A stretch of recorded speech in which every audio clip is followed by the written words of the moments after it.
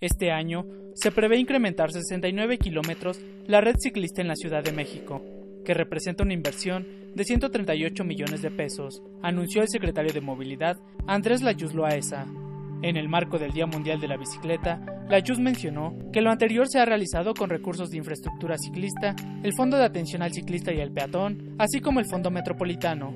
Los 69 kilómetros de infraestructura a construir son 19.6 kilómetros de suturas a la red ciclista, 19.1 en ciclovías en zonas periféricas y 30.2 en conexiones regionales. Comentó que el propósito también es incrementar la zona de cobertura de bicicletas como transporte público, al pasar de 6.500 a 10.000, incluyendo tramos en Álvaro Obregón, Coyoacán, Venustiano Carranza y Escaposalco.